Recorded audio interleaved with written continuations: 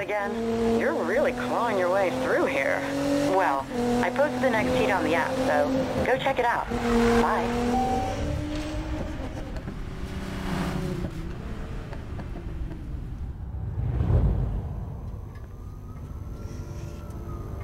Holy. Surprise.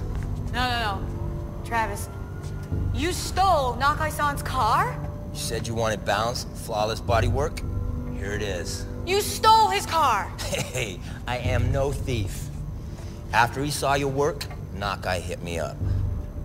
He's curious, and I think I can convince him to come over.